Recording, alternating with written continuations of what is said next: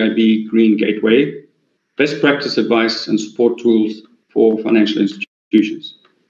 My name is Frank Lee. I'm head of division in the advisory services at the European Investment Bank. And as I say, I have the honor and pleasure of hosting and moderating today's event. Um, we have an excellent lineup of speakers for you,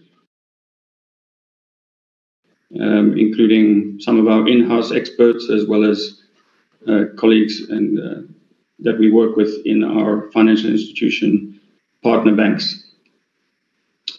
Um, today is also the official launch of what we call the Green Eligibility Checker tool, uh, part of the Green Gateway Advisory Platform. I will tell you a little bit more about that in a short while, but first I will hand over to our Vice President, Vice President of the European Investment Bank, Mrs. Lilyana Pavlova, who will give us a, an introduction. Over to you, Lilyana. Uh, thank you very much, uh, Frank. Uh, good morning, uh, ladies and gentlemen, colleagues. Thank you, thank you all for joining us uh, today in this uh, last day of COP, COP26. It has been inspiring to, to follow the, the works of such an important uh, international platform and uh, witness the even stronger um, commitment of such a diverse group of stakeholders in setting ambitious targets in our uh, joint effort in the fight with uh, against climate change. At the EIB, we know that once the, the lights of COP26 go out later today, the real world work will have to continue on the ground. Uh, and our contribution in this regard, uh, focusing on uh, developing tools and products uh, and finance of the investments needed to to combat the climate change and to support uh, green and digital uh, transformation and transition. As EU Climate Bank, we have already committed uh, to the reallocation of investments from oil and gas uh, related projects uh, towards climate action and environmental uh, sustainability projects. But also, uh, we know that we cannot do this alone and we need to inspire we need to support and we need to provide incentives to uh, to people to organizations to our partners with whom we work of course including commercial banks and national promotional institutions. We rely on these partners and we on all, all these partner financial institutions uh, to to increase their financing support to climate related uh, investments and especially focusing on smaller projects uh, promoted by SMEs and mid caps. And to help us to achieve that, uh, I'm really proud, as Frank already mentioned, to launch today a new advisory support tool, which we call Green Eligibility Checker. This tool uh, is freely available uh, all through a new uh, Green Gateway internet portal, uh, which has been developed by the bank uh, with the funding support by, from the European Investment Advisory Hub, yeah, advisory mandate funded by the, by the European Commission and the bank. It is designed to support commercial banks, national promotional institutions, and other financiers in checking the eligibility of potential green projects. Uh, with uh, with initiative like this, uh, like the Green Gateway and uh, Green Eligibility Checker, um, our intention is uh, to develop the green financing markets across the EU and uh, thereby making it easier to identify, to quantify, and account for green project investments. Because apparently this is the, the main challenge which all institutions at the moment are facing. The Green Gateway Advisory Package also uh, offers targeted bilateral support to financial institutions in order to provide um, really necessary and much valuable support in capacity building through trainings and special tailor-made uh, sessions to identify new sectors and clients with uh, climate action potential to develop uh, new or to modify the existing green financing products, and to define any new tools and procedures on how to support uh, origination uh, and reporting of green projects. Uh, we have already piloted this tool with selected uh, number of uh, partner financial institutions, and the message we receive uh, we are receiving from the market is very positive. So we are we are really happy to see that financiers across the across the Europe are setting up and implementing this uh, this kind of green strategies and are willing and uh, willing and uh, uh motivated to to participate um, in and to engage in uh, green financing in promoting green financing. Uh, we know that the private sector has a leading role to play in this process and uh, of course, we will have opportunity uh, in this event uh, today now to hear the testimonies of some of these uh, partners who first tested uh, the system and with whom we are currently working, and we are looking forward to further expand this uh, cooperation. So once again, thank you very much for, for, for being with us today. I hope that you will be inspired but uh, by what you hear and you will feel much more confident in mo moving forward with us to finance uh, and to support more climate related uh, investments in the future. Thank you very much. Thank you very much, Lilyana. Thank you for the great introduction. And indeed, um, as we are a, a, wholesale lending institution at the EIB, we, we clearly uh, rely and work a lot with commercial banks and national promotional banks across the EU and, and wider, of course. And, and we certainly rely on this relationship to reach and finance the, the smaller projects on the ground, which, after all, uh, will probably be the projects that will contribute overall greatest to the uh, to the climate shift.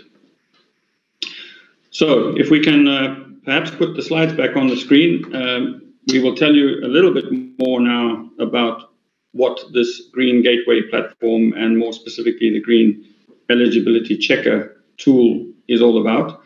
Um, obviously, this is meant to be an introduction, uh, and I clearly will not have time today to go through all the details and, and intricacies of how this tool works.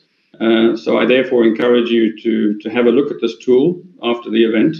Um, you'll, you'll, you'll be given the, the website address uh, in a little while. But just to say that um, this is part of the Green Gateway platform, as we call it. Um, and as our Vice President mentioned, it is financed by the European Investment Advisory Hub, uh, a joint initiative between the European Commission and the European Investment Bank. Uh, and essentially, it consists of two main parts. The, the platform itself is primarily targeting, as I said, our financial institutions and partners that we work with, but, it, but indeed a wider network of financial instruments, uh, financial institutions, not necessarily ones that take uh, financing from EIB. It consists of two main components. Um, on the left side of the screen is essentially the uh, online tool, essentially the web portal, as we call it. Um, and again, you can access this by, by looking up Green Gateway at EIB. And it will and it will eventually consist of three functioning components within the web portal. The first one, which is the one that we are launching today, is called the Green Eligibility Checker. We'll, we'll talk about that in a minute. Um, and then we also plan uh, and are currently working in uh, populating as well the database of information, uh, which we will call an e-library, with green guidance material, um, a lot of knowledge material and, and, documents relating to, for example, the EU taxonomy and EIB's green eligibility criteria. And then eventually we also hope to have online training courses, um, which we think uh, will be extremely important for our partner institutions and again, more broadly in the market to get a better understanding uh, and, and, gain greater conf- confidence really in what it means to finance green projects, uh, what are the rules around this, uh, what is green, what is not green, etc., etc. And finally, on the right-hand side of the slide, you also see um, the second major pillar, let's say, of our Green Gateway platform, and that is uh, the bilateral advisory support, as we call it. So this is where we provide one-on-one support to financial intermediaries in order to address certain certain needs uh, specifically to their institution uh, in order to essentially use the Green Gateway and finance ultimately more green investments with our funding. If we move on to the next slide, please. So the, the first uh, of the web tools, as I mentioned, is called the Green Eligibility Checker. And here on the screen, you will see the website address uh, to access the tool. It is, as our Vice President mentioned, freely available online to any user. Um, and I therefore encourage you to, to have a look at it. Uh, by the way, on, on the tool, you will also uh, uh, have access to a frequently asked questions section, as well as uh, be able to send us uh, questions that you may have on how the tool works. So um, you may not be able to obviously get all your questions answered today. Um, and by the way, I would encourage you, for those of you who are online uh, directly on this event, to send us questions you may have as we as we go through today's session in the chat. Uh, we will try to, to pick them up. Uh, we hope to have more of an interactive session in a short while with our panelists. Uh, but please feel free to, to post us questions. Otherwise, as I say, you'll be able to reach us through the through the, the, the, website and email address that's indicated in the green checker tool on, on the website. The main objective of the green eligibility checker, as you see there, is really to increase uh, the green financing of our financial intermediary partners and, uh, and wider financial institutions working in the market um, to originate, appraise, and to report on the green investment projects that they're financing. And these projects, um, essentially, the tool is meant to, to help with uh, smaller scale projects, projects that are promoted by small and medium sized enterprises or small mid caps, as we call them. Also, smaller projects promoted, for example, by public authorities, municipalities, etc. Um, you'll hear perhaps a little bit more about uh, specifications around this later on. The idea also is to provide a feedback on that project in terms of its climate impact, uh, it, for example, in terms of CO2 savings, energy savings, for example. And we are obviously trying to align this tool as much as possible with the EU taxonomy principles. Um, certainly, we follow the principles, uh, although, as we all know, the EU taxonomy is a, is a moving target. It is a, a relatively complicated piece of legislation, and therefore we don't uh, claim that this eligibility checker uh, answers all the questions and addresses all the, the, the, requirements, as it were, of the EU taxonomy. But it does address all of the requirements, well, most of them that we require from EIB eligibility criteria when it comes to intermediated finance. Um, I think there's one more slide, if I'm not mistaken. Um, so if we can move on. Yes, this is really just to give you a little bit more information on the bilateral advisory support. As I mentioned earlier, this is the second pillar of the of the platform, the Green Gateway platform. So this, as I said, is to provide support, one-on-one ad hoc support to the financial institutions that we work with, whether it be in the area of product development, origination, green eligibility screening, impact reporting and monitoring, um, obviously alignment as much as possible with the taxonomy, and measuring and managing climate related financial risk. These are topics, all of which might be addressed, or some, depending on what the needs are. Those are the final loan recipients uh, that you see at the bottom of the slide, which I mentioned earlier. And then we're also focusing our support in uh, various thematic areas, uh, obviously, which are important from the from the point of view of climate and environment. Um, and the tool itself uh, addresses a number of those sectors, not all of them, uh, I have to say, but it certainly covers agriculture and forestry, uh, energy efficiency in insofar as it relates to buildings, for example, or industry. Uh, renewable energy is also covered by the new tool. Circular economy, not yet. This is a relatively complicated topic um, and something that we're currently working on, as is as is the next view, and, and we are addressing though through the tool uh, sustainable transport, which is one of the other sectors. But in essence, through the bilateral support, we are willing to work with uh, our partner institutions in any of those sectors that are mentioned there. Right, I think this brings me to the end of the of the introduction, and um, now I would like to pass the floor to Ms. Kristīne Kozlova uh, from the European Commission. She is head of unit within uh, Director General for Economic and Financial Affairs, um, and she's in charge of the InvestEU program insofar as governance and the advisory hub is concerned. So without further ado, I'll pass you over to Kristīne. The floor is yours, Kristīne. Thank you, Frank. Uh, dear Vice President Pavlova, dear Frank and participants, first of all, I would like to thank the EIB colleagues for inviting me to be with you today at the Green Gateway facility launch. And let me also use the opportunity to thank again Vice President Pavlova for your constant and visible support to the European Investment Advisory Hub. As Frank already mentioned, and, and you yourself also uh, mentioned, uh, European Investment Advisory Hub is our joint advisory program that was launched with the Investment Plan for Europe more than five years ago by the European Commission and by the Investment Bank. And this was one of the first demand driven advisory programs in Europe. After five years of activity, and as we are preparing for the transition to the InvestEU advisory hub from next year on, I think we can be very proud and satisfied with the results that we have achieved together so far. The advisory support that has been provided to the project promoters, private and public, has led to successful financing of investment projects with the support of European Fund for Strategic Investments, the EIB owned lending, and of course, other private sources, uh, private and public sources. The hub has helped to structure investment platforms and it has also strengthened the capacity of many national promotional institutions and financial intermediaries who are our partners.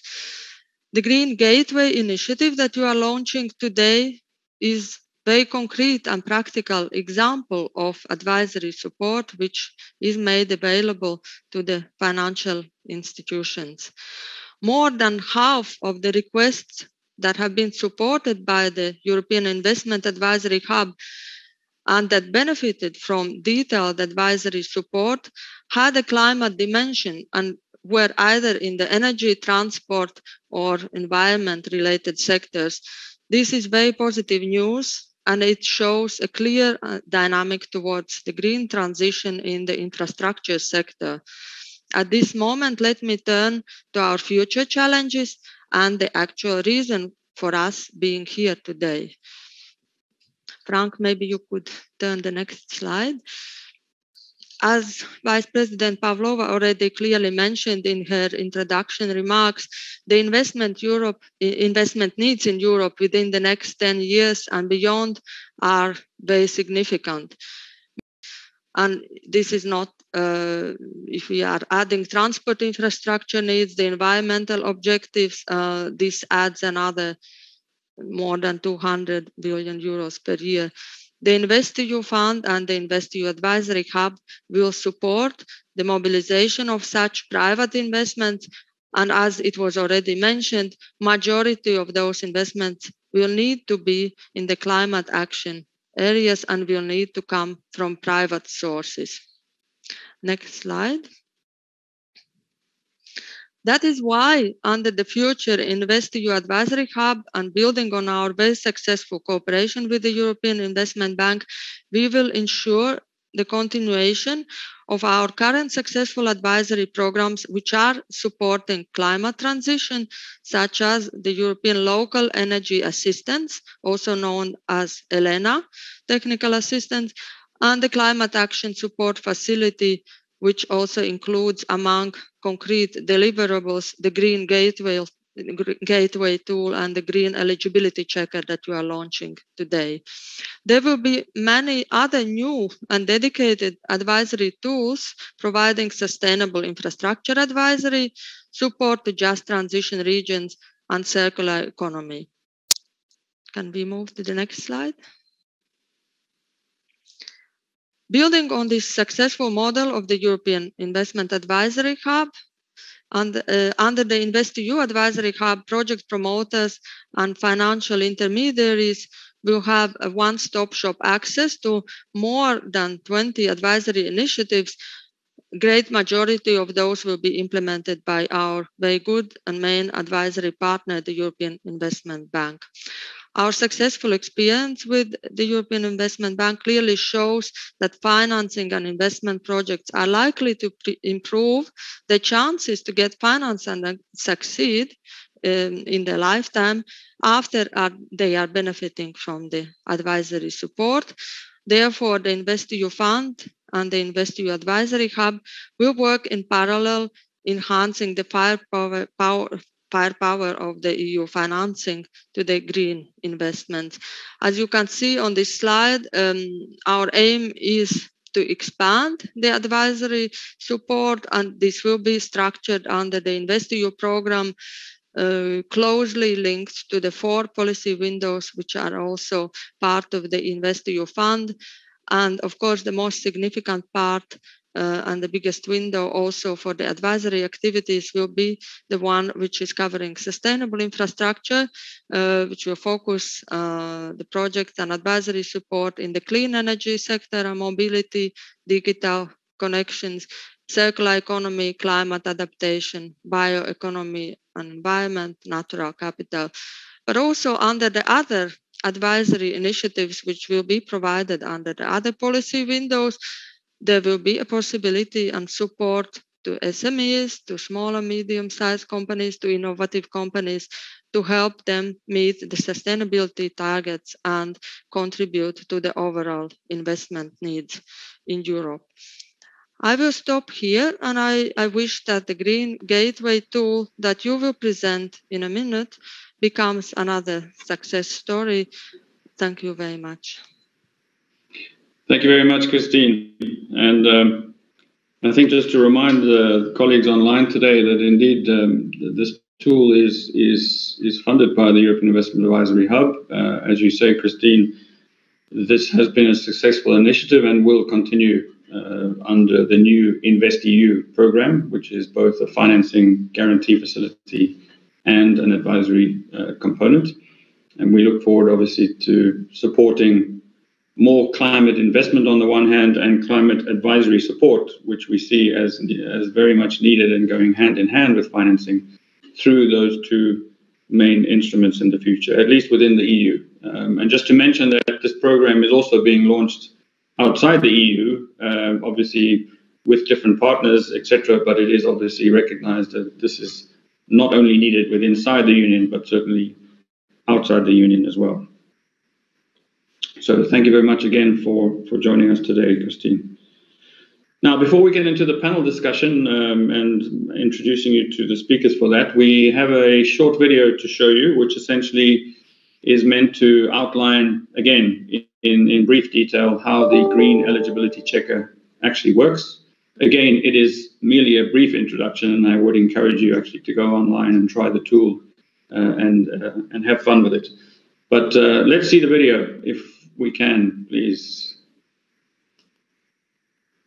Welcome to the Green Eligibility Checker. Developed by the European Investment Bank with funding support from the European Investment Advisory Hub, the Green Checker assesses compliance of investment projects with EIB Green eligibility criteria for its financing channeled via financial intermediaries.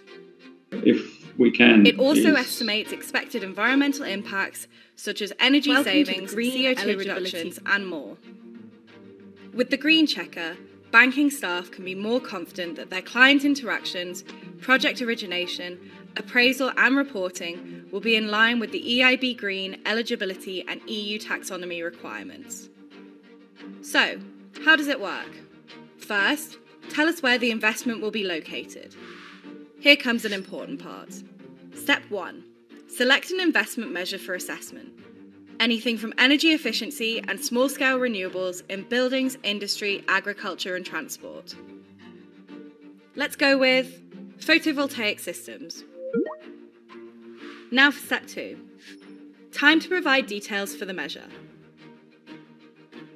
Don't have the exact values? No problem. You can rely on several default values or fine tune the assessment by changing default assumptions. You can also switch to the advanced mode for a more precise assessment. In the top left corner, you may notice a box with EIB green. This means your chosen measure is aligned with EIB green eligibility criteria. If you see this, then the measure you selected is not EIB green. Click Done and let's move on to the next step. At this step, you can add an additional measure. Once you have added all the measures for your project, step 3 allows you to view the total results of your assessment and to download the PDF report Green Checker results. And there you have it. Easy as ABC, just follow the steps. One, two, three.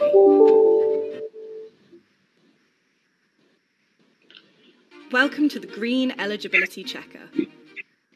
Great, thank you very much. Um, so hopefully that gave you a bit of a flavor of what the tool is and how it works. Um, but as I say, I encourage you to, to have a look at it for yourself uh, online. Um, the video is again on the website, um, so you you can see it again if you wish.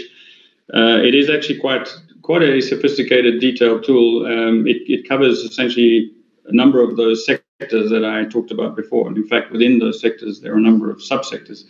So it, it does, in fact, I think, cover something like 40 subsectors um, of activities. And so, therefore, as I say, I encourage you to to have a look at it, uh, work your way around it, and if, if you have questions, obviously just send them through to us.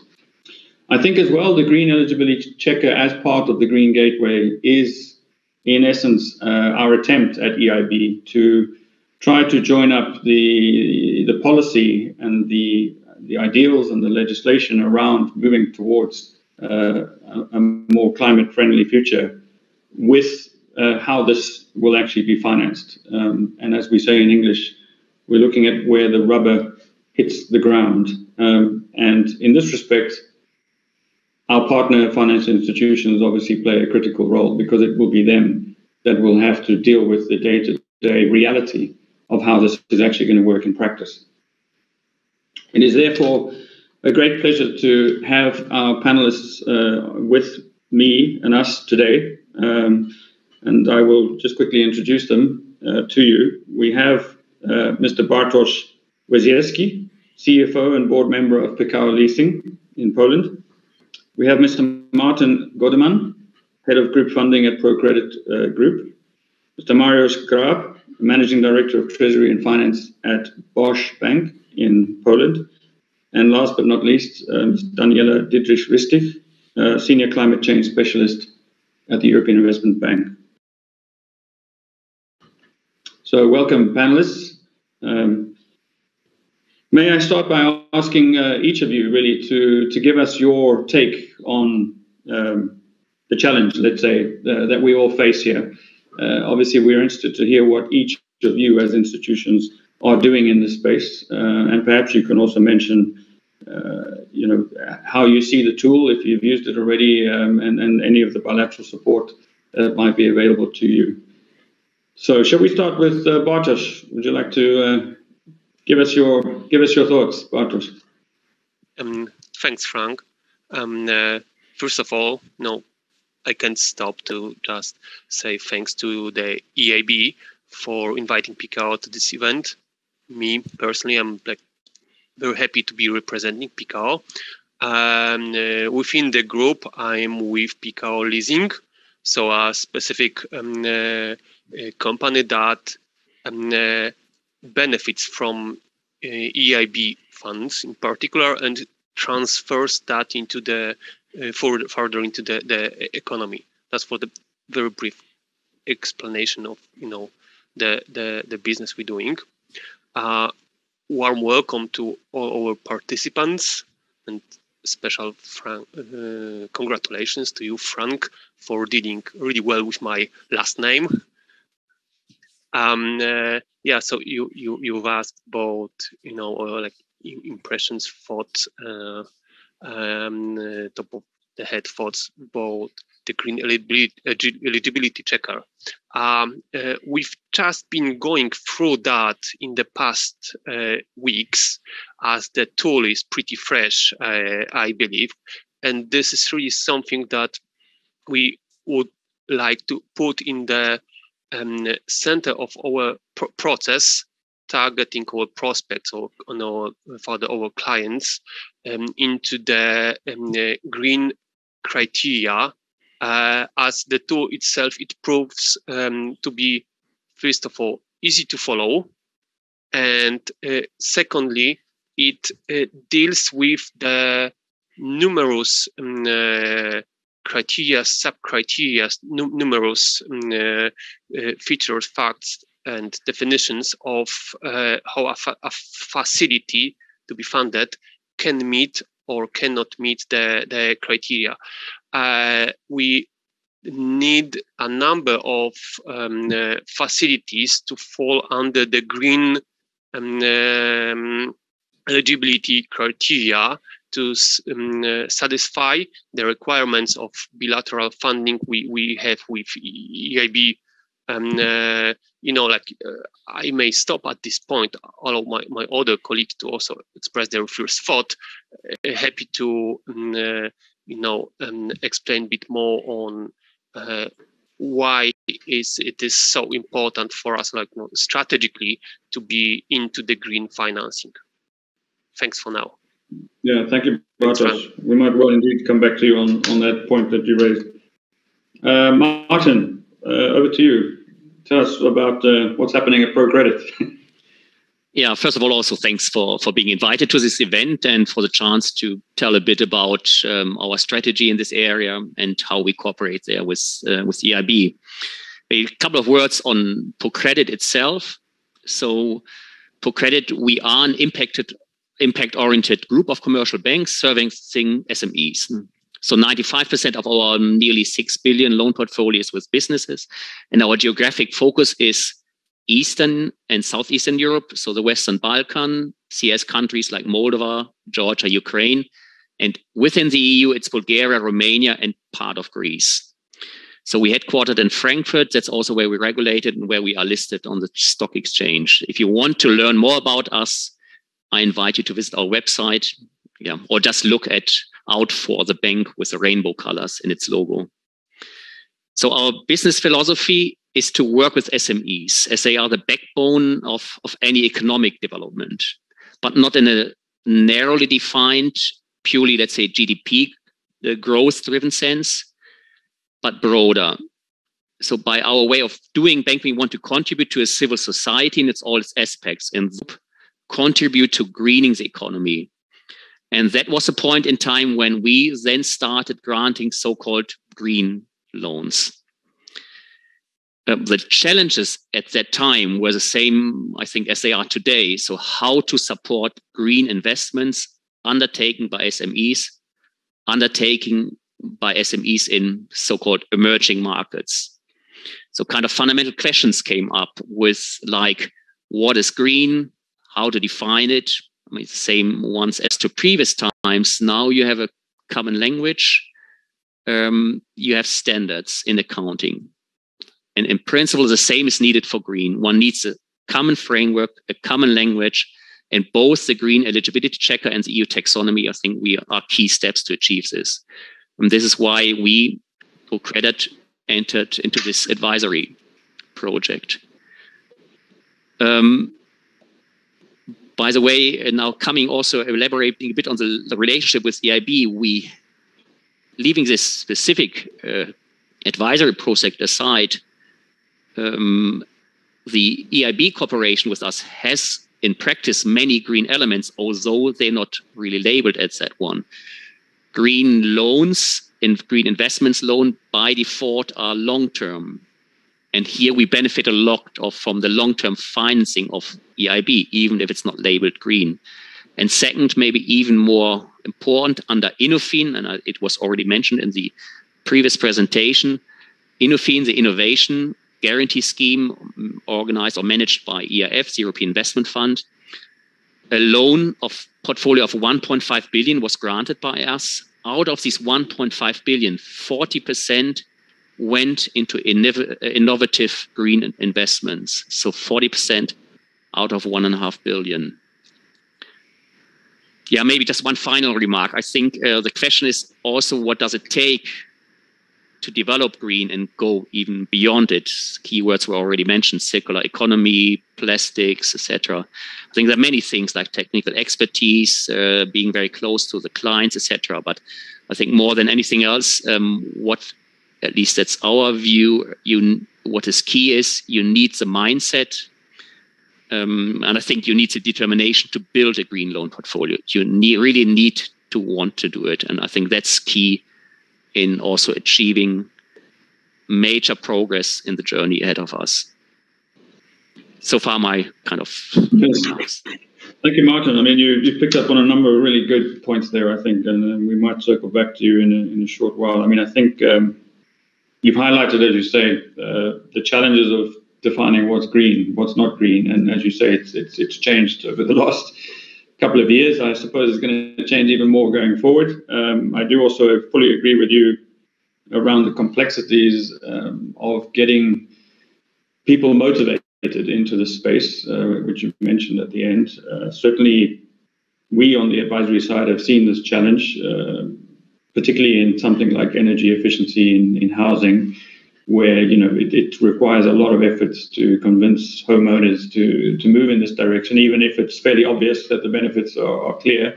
Uh, you know, you've got to get them off their couches, as it were, and and, and start doing some work to, to, to fix their building. So, fully agree with, with what you're saying, and, and, and the need for the need for standardization as well, perhaps, which is something we'll, we'll come back on. Uh, maybe let's just move to Mariusz uh, from BOŚ Bank, and BOŚ Bank uh, is to some extent already a green bank, uh, I understand, um, and it's sort of a crossover between a commercial bank and a national promotional bank. So, Mariusz, we look forward to uh, telling telling us what's what's happening there. Good morning. Thank you for inviting BOŚ Bank uh, to this interesting event. Well, I present the BOŚ Bank, which is the only, I think, specialized uh, green bank in uh, Poland. And worth mention is translation of the full name of the bank, and it is Bank for Environmental Protection. So it's very, very green.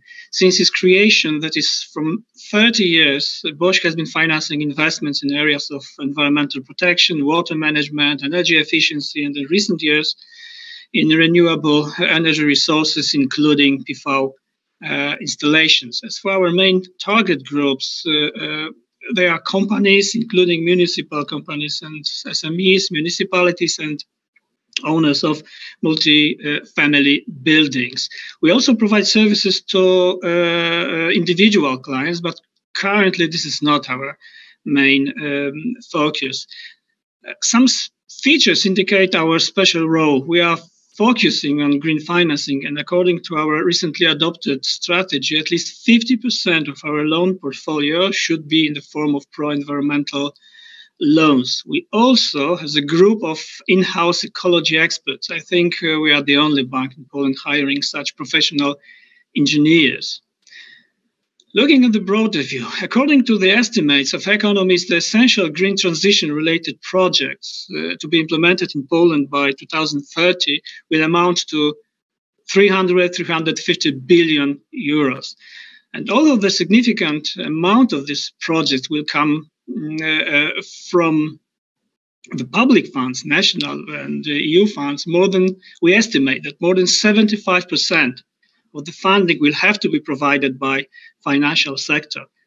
And this is the clue. How to finance wisely the green transition is a real challenge. What mix of financial products should be used to achieve the best results? So I think that apart from loans, which are very needed, consultancy and advisory is an extremely important uh, uh, component. Why? Because, as I said, money should be spent uh, wisely and efficiently. So the key is the mix of sectoral knowledge.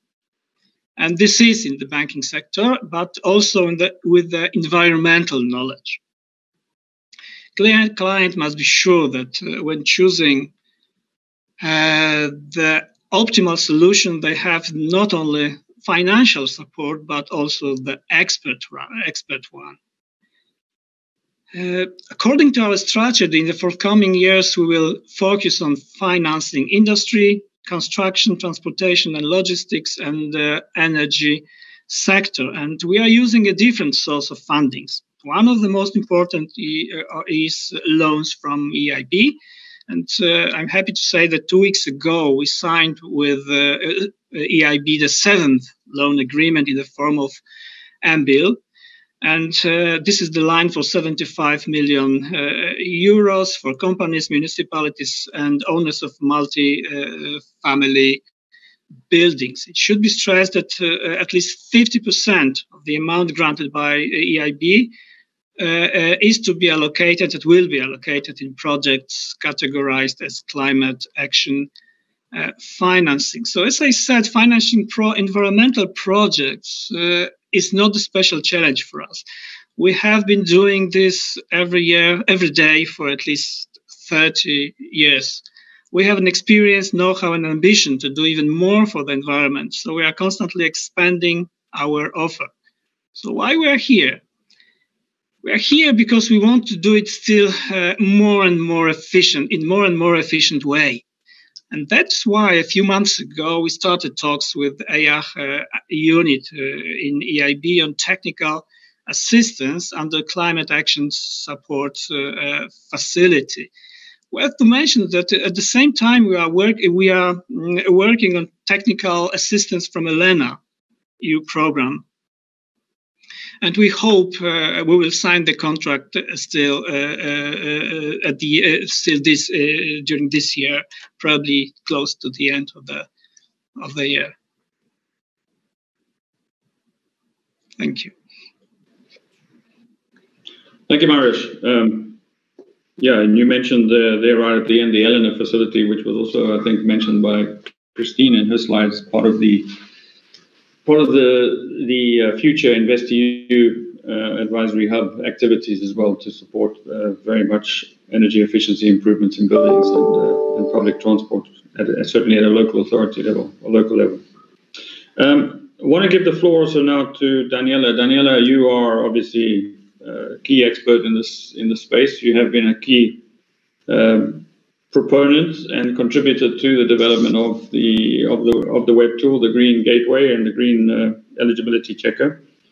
You as well obviously see things from the perspective of, of engaging with many banks across uh, Europe and, and possibly beyond that. Um, what what are the trends that you see from from your point of view? Um, you know, do, do do you see more going on? Uh, tell us about it, please.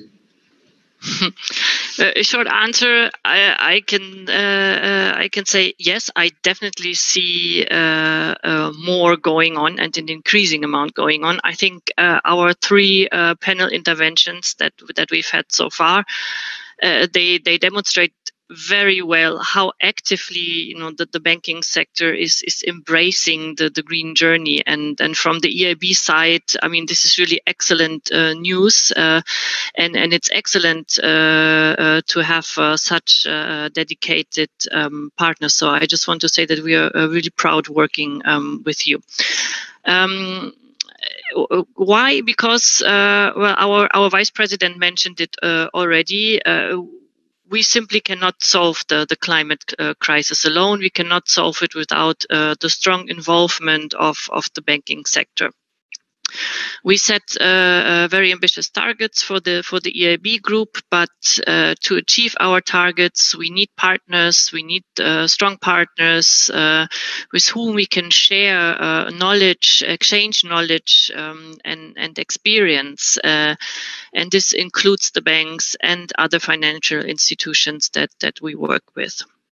Uh, what what we are seeing is that uh, an increased uh, number of, of our partner banks, uh, leasing companies, and other financial institutions. You mentioned the NP, uh, the national promotional banks we work with. Uh, an increasing number of these partners are making um, public sustainable finance commitments. So these public commitments they are a very important signal that the banks intend to support sustainability in and support it in a measurable way. Uh, we also see an increased interest um, in in our advisory services, in, in the technical assistance and and the online tools um, that that we offer. And what we also uh, see is that interest comes very much in the context of the upcoming um, EU taxonomy uh, regulations, which will have a significant impact on, on the bank's approach to, to green uh, lending. So banks are looking very closely at the implication of the EU taxonomy requirements and its mandatory disclosure requirements. Um, and of course, they are concerned uh, with, with the implementation challenge and how to operationalize uh, the, the EU taxonomy requirements. Um, I would like to say that uh, banks in the EU, yes, they will have mandatory reporting obligations, However, they also wish to use the taxonomy for, for other than uh, mandatory report, reporting purposes. And uh, this is the case, for example, in the development of, of green banking products that are targeting uh, small and medium sized uh, companies, now, which is the market segment uh, that we are primarily addressing through the Green Gateway. And, and we have we have heard the importance of the segment already, various sources from, from VP Pavlova, but also from from from Martin uh, in the work that ProCredit is doing. Um, one important uh, key challenge uh, that is almost always mentioned um, uh, is the availability and, and the quality of data especially in the context uh, of, of SMEs and, and green financing that is targeted uh, to, to SMEs. I mean, SMEs themselves, they are not going to be subject to mandatory reporting requirements under the, the EU non-financial reporting directive for, for quite a while.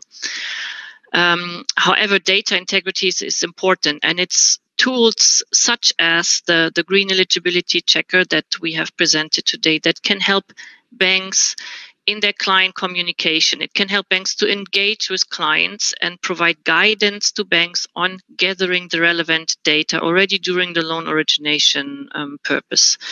Technical assistance, as the technical assistance uh, offered uh, through the, the EIB's Green Gateway, can also play an important role in providing clear and um, above all, practical guidance to enable the banking sector to take uh, early action to develop new or enhance its, its existing um, banking products. And at the same time, uh, as the EU taxonomy evolves, ensure that uh, such products are consistent with the EU taxonomy uh, requirements.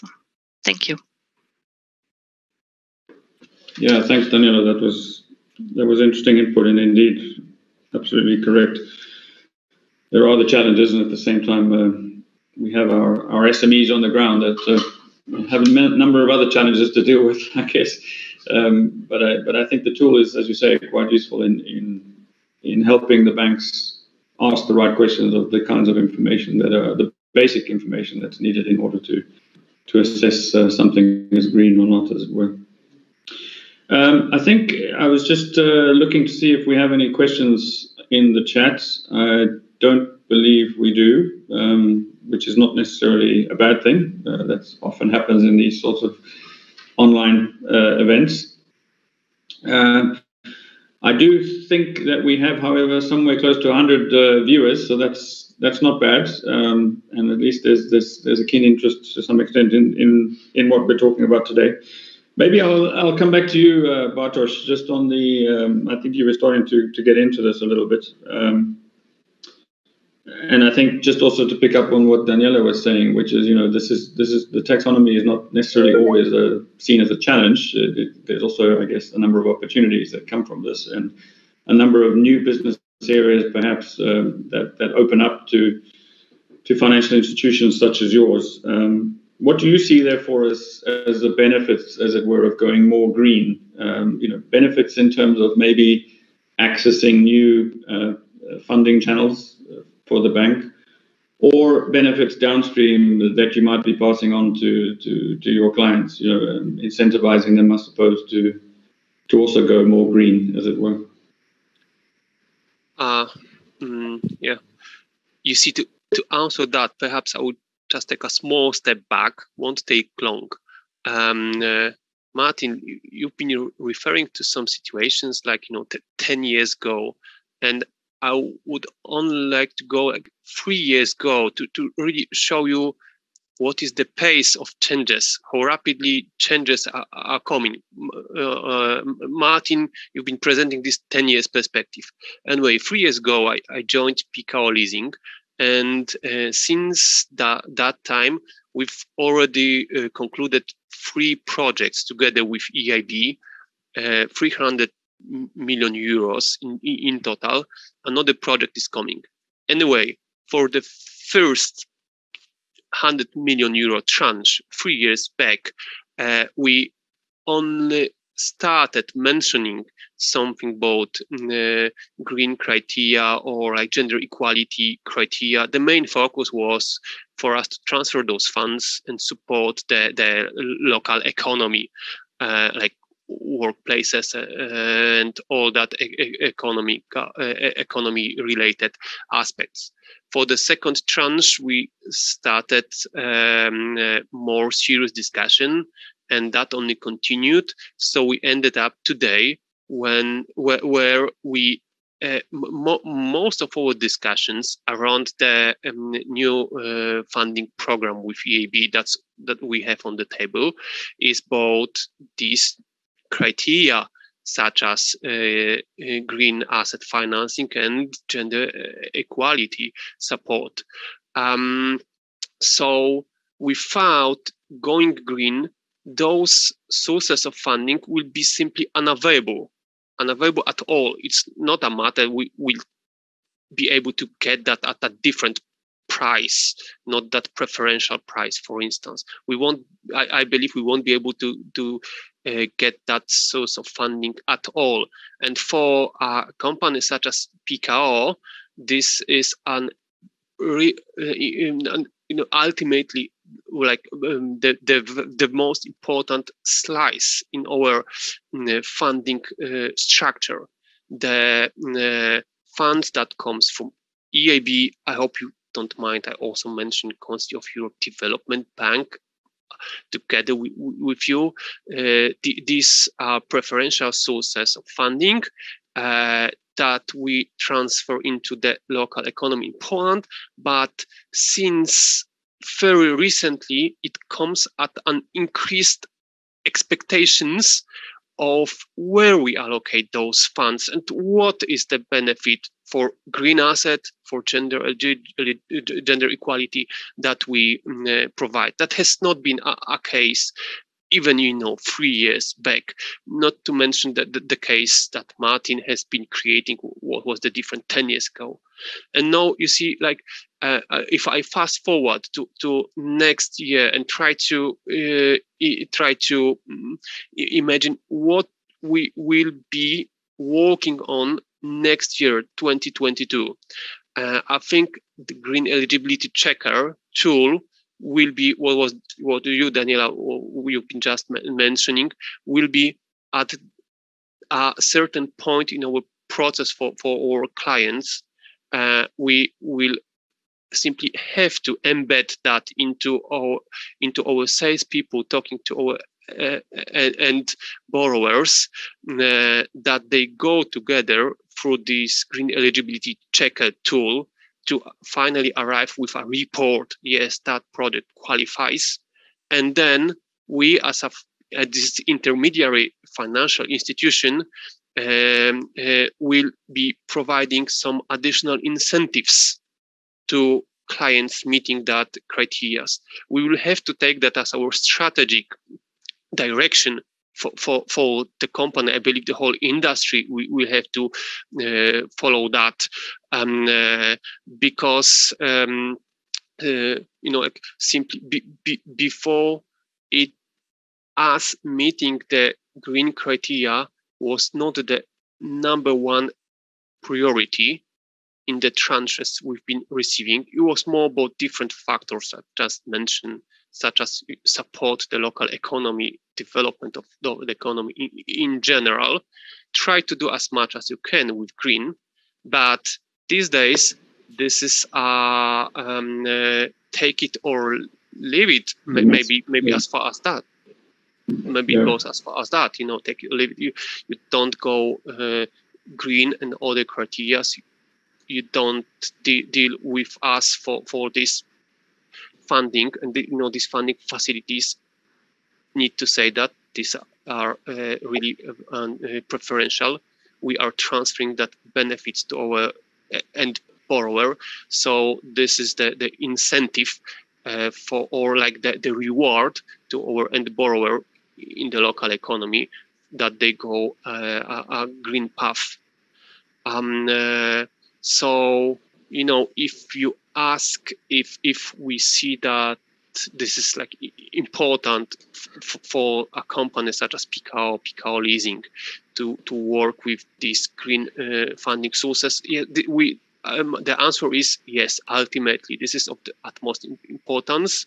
And uh, we thought uh, this is at the heart of our interest for our funding mix, and also strategically at the heart of our interest.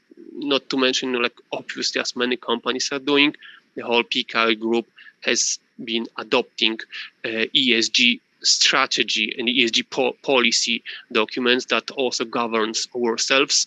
But uh, you know, aside um, as all the policies, all the general changes, such as you know the, the general increased mm, climate um, issues awareness, and uh, these are the factors that supports green financing that supports uh, companies going green path, funds from EIB are uh, triggering the business efficiency.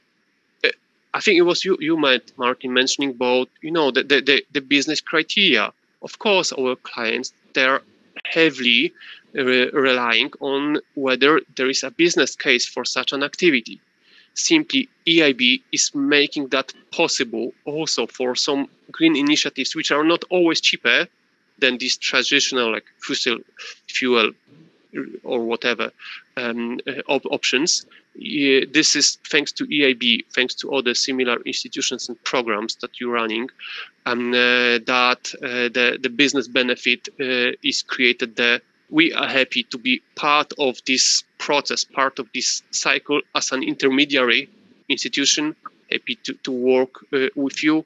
And you know uh, what I've just, you know, to, to put that in a nutshell, what I've been just uh, uh, explaining. I think most important is try to see how we may be working next year, 2022. I think we, we, we will be providing some specific programs to the markets uh, targeted specifically at, at green asset financing. And uh, I think the green eligibility checker will be heavily used by simply, you know, and technically and practically our our salespeople working together with um, uh, clients. And you see, even if some of the projects they won't qualify, as uh, um, uh, uh when we go with our, cli uh, our client or like potential client uh, through the green eligibility checker there is another benefit not that tangible perhaps about raising the awareness. This is uh, a tool that helps to um, go with a dialogue with a discussion with a client. You see maybe if you adapt your project a little bit into that way you uh, uh, would get this project green that transfers into these particular and very tangible benefits uh, yeah. that we can offer you through EIB funds. Yeah, so excellent. yeah, Frank, I see no yeah, thanks other way. Thanks. Thanks. Heading thanks, back over to you. Thanks.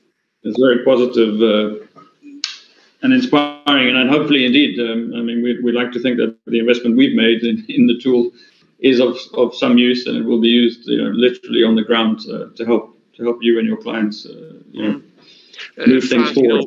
You know, uh, Frank, I, I've been presented this tool myself and I did my own steps into that tool. So trust me, I know what I'm saying. okay, Great to hear. Martin, turning to you again, um, you, you, mentioned uh, well, you mentioned a lot of things in your in your intervention. Uh, feel free to pick up on any of those points a bit more. But I but I think on the, I mean, you said what is green. I mean, uh, it's indeed a, a, tough question to answer, I suppose. And the need for standardization and another point that you raised, which which I think we, we fully agree with. Um, you know, only then can we obviously compare things across the piece, uh, apples and apples, etc., and, and and try to avoid um, what might some perceive to be greenwashing in some cases. What, what's your views on, on where the market needs to still go, if if if anything? I mean, where would you like to see these discussions in terms of regulatory developments, taxonomy developments? Uh, do you have any views on this? Where are we going to be in five years from now? You got to just unmute yourself. Sorry, Martin. Okay, now, yeah, of course, it's where we're going to be in five years from now. Uh, not so easy to answer. I think where do we see ourselves? I think one comment is a large part of our activity is outside the EU. So far, I think the um, eligibility checker is is focused on the EU. Um, maybe repeating what I said about the role we see and the benefit we see out of the checker, and then giving uh, a view on where we see the situation now and which way we hope it's going to develop. Um, as I mentioned in my in my first intervention, for me the reference point, so a good example is accounting. I think it makes a lot of sense to have something like IFRS for green, with as you do in your uh, eligibility checker, with the possibility to modify, not to modify it, but to uh, do it on the basis country by country, because efficiency in one country is not the same as another country. So if you go up from here to there in this country, you can maybe go up from here to there in another country. Um, and um, until now, um, and I look at the EU taxonomy and this eligibility checker in, in, in, uh, in as one package. Um, I think the EU taxonomy covered uh, sectors which are not the core sectors yet of SME. So my sense, my understanding is, and how I see is that EU taxonomy more than needed, absolutely needed. Eligibility checker also great initiative, and also the fact that a heavyweight like EIB um, basically puts its yeah economic weight, its position behind such an instrument, hopefully will contribute or even be the key reference point for becoming the IFRS in green. So where we stand now is um, we think with our own tools we need to and will continue for quite some time, given that um, there are tricky sectors like machinery, which is so differentiated that it's really difficult and challenging a lot of nitty gritty work to define base levels to define country by country, industry by industry. Agriculture is not addressed yet. So we, my, my, my proposal would be, let's say, to say it needs to be um, continued along the lines as you started now. So it is a good start, but I think we should avoid the impression here we have it. It needs some fine tuning. That's it.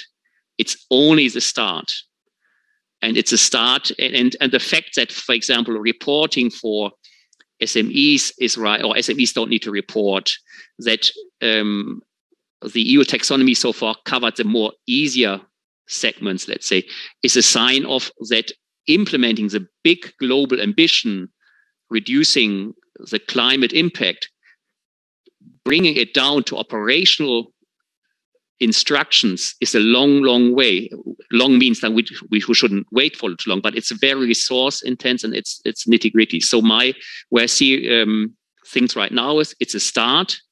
It's a very good start, but it's only a start. And my hope for next five years would be that we have an that we have an IFRS in five years' time for green.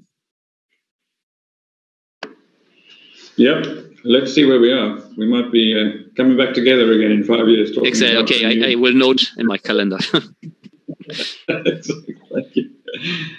Thank you, Martin. Uh, Mariusz, back to you. Uh, on, um, I got the impression that, uh, as you say, uh, you are you are already to some extent a green bank. Um, you already have been doing this for many years. Uh, why why would you need more technical assistance, I guess, from from. You want to expand on on what it is that we're going to be doing together under the bilateral advisory support, perhaps? Yes, thank you. Uh, I do hope that the advisory services under CASF uh, will allow us to increase our capacity in several areas. But the most important, I think, uh, are two.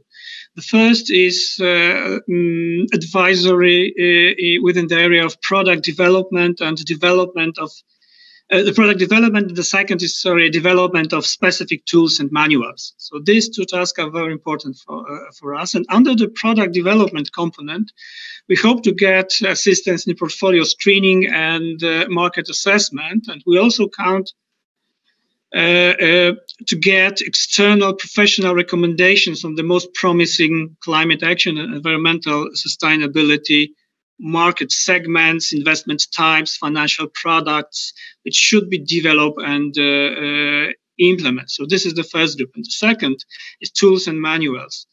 Mm, uh, these tools and manuals uh, should help our front office staff to determine the eligibility of the projects and methodologies uh, to calculate impact and reporting indications, indicators aligned uh, uh, um, with the EU taxonomy and EIB uh, requirement.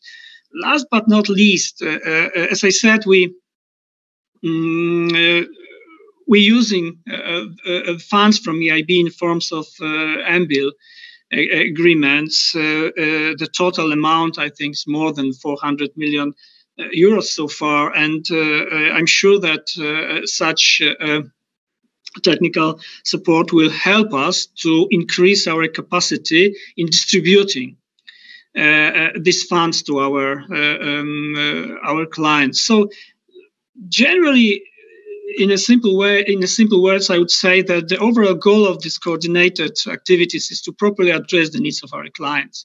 So the entities which are uh, who are looking for the entities uh, looking for financing of green uh, projects. We have to be updated. The, the, world is changing very, as Bartosz said, is changing very rapidly. We were not talking about uh, green financing five years ago. To the extent uh, now everyone talking about about this, and uh, we want to keep up the pace of the changing mm, in the world. Thank you. Well, thank you, Mariusz. Indeed, valid points. Um, Daniela, coming back to you, I think, um, and I think picking up on what Martin was saying, I mean, obviously this is a starting point. Um, it's a it's an evolution. We need to continue improving, um, evolving on the on the tool and, and, and the capacity building support we provide. What's your what's your vision, I suppose, in this respect? Uh, as I said, having been involved in this up to now, where would you like this thing to to to go? I suppose next.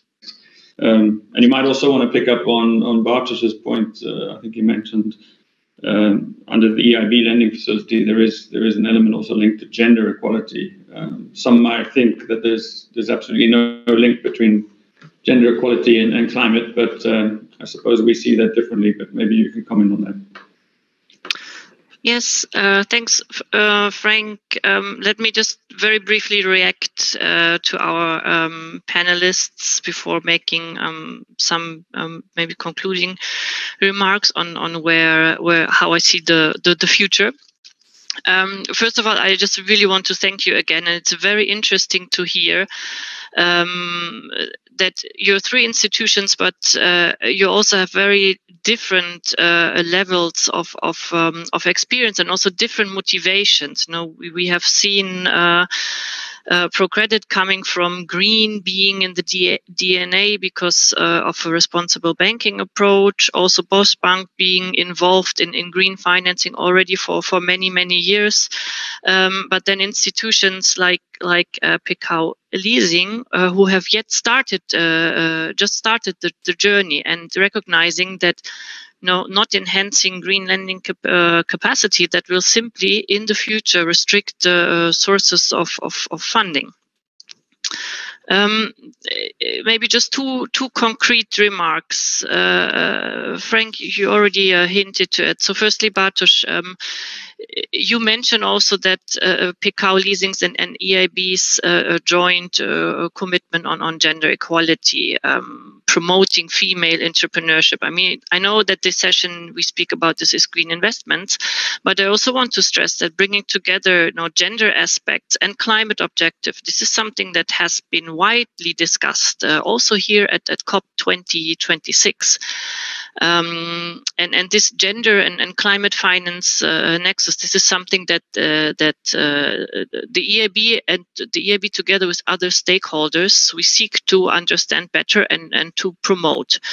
Uh, there are multiple examples of, of women who are uh, leaders uh, of, of climate action and, and green entrepreneurs. And research clearly shows uh, sorry, I just have to stress this research clearly shows that companies with the better gender diversity on boards are more likely to reduce the intensity of energy consumption, greenhouse gas emissions, and, and water use. So uh, I, am very pleased that together with Pekao Leasing, uh, we, we can work uh, um, together on gender and climate uh, aspects and in parallel. And then I wanted to come back to to Martin's uh, um, remark, and uh, I just wanted to re-emphasize it because I really second the need for for standardization and for a common uh, language when it comes to defining green. I mean, this is why the EU taxonomy and how it will evolve is so important. It's important to avoid greenwashing. We really need a common language when defining um, what is environmentally um, sustainable. And yes, I also agree that we are not uh, there yet. We are at the beginning of, of, of a journey. It's it's a process. Hmm?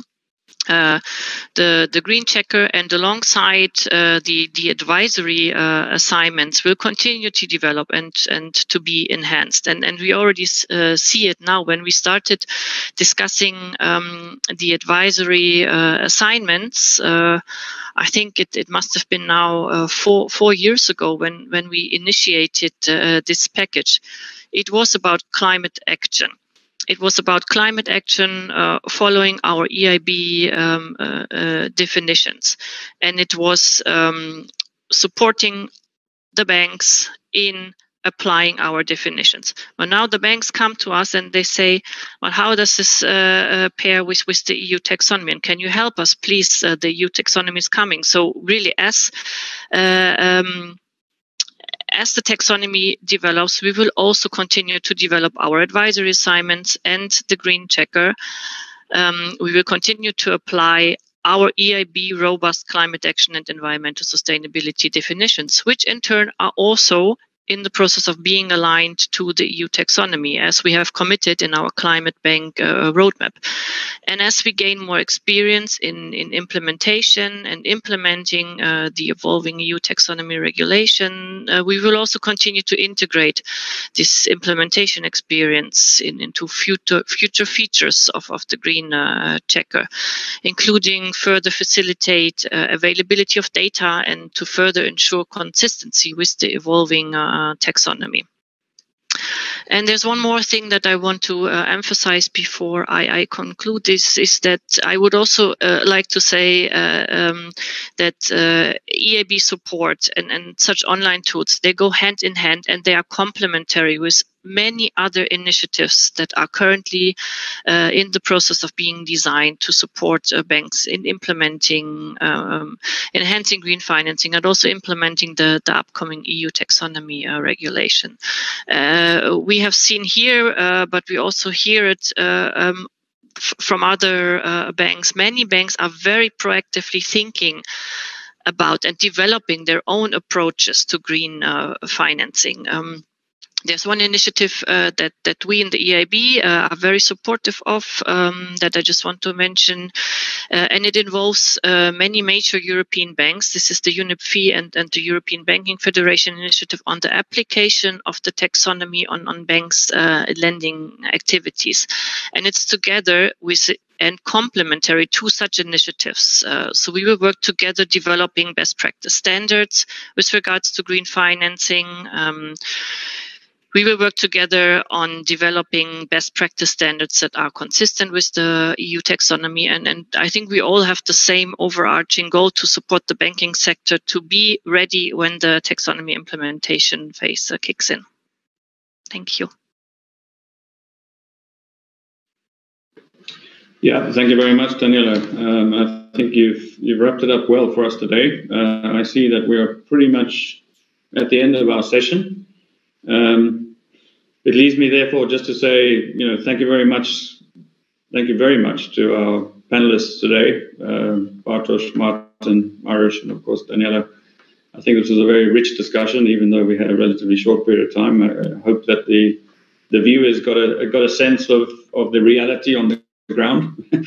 um, but I also got inspired by you know the, the direction that you three institutions are, are, are, are taking here. I think we all agreed that this is the future. Um, there's no doubt about it. At the same time, you know, lots of good business opportunities probably coming from this as well. So it's it's not all downside for sure. Um, and at the same time, of course, we're doing our planet the best, the best of good. So, absolutely, thank you very much again for your participation. Thank you, of course, to our Vice President uh, for for opening the session. Thank you to Kristīne from the Commission, DG ECFIN, major funder of of what we have been talking about today. So, thanks very much for that. Uh, thanks to the team. That's also in the background here. Some of the names you see on the screen. Um, we haven't needed to use them today. We haven't got any questions online, but that's that's fine. I'm not too concerned about that. Uh, I think we had a rich discussion, and thank you very much. And we look forward, obviously, to having you guys join us again. Um, hopefully, not in five years' time, but but before that. So thank you very much again. Thank you to the viewers. And just to say, if you want to reach us, you can contact us on the European Investment Advisory Hub's website, um, but also through the green checker, as I was mentioning before. If you have questions send us emails through the through the checker tool. And uh, again, thank you very much.